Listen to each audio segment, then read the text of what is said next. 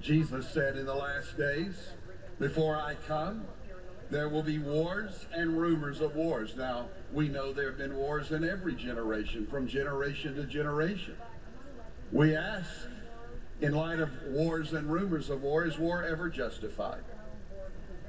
Is there ever a just cause or a reason for war?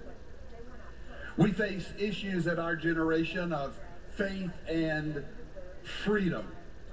And then there are the issues in uh, every generation, certainly ours, of crime and punishment. As in the last days, lawlessness will increase. I, I don't want to discourage you, but things are not getting better in our world.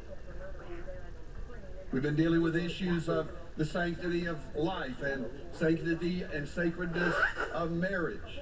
And now our government here in the United States, the liberals in uh, our government are proposing an Equality Act, which is not an Equality Act, but rather it uh, imposes upon the free rights of those who oppose homosexuality. People talk about the separation of church and state as though it is in our Constitution.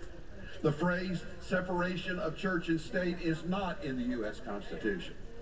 Uh, God and the founders never intended for our God to be separated from the people.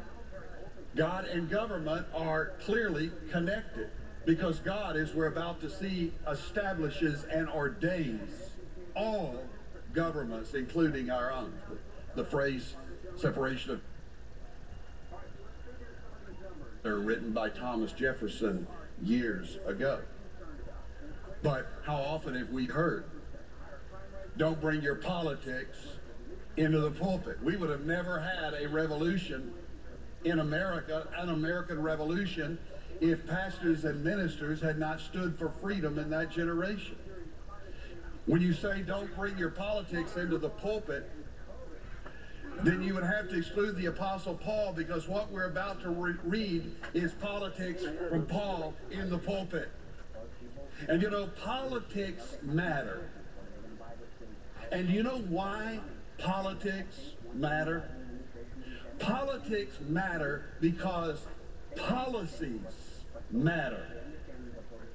And policies matter because people matter. And so God's word addresses faith and freedom, politics in the pulpit. And so beginning in verse 1 of Romans 13, let every person be subject to the governing authorities. For there is no authority except from God, and those that exist, that is, authorities, have been instituted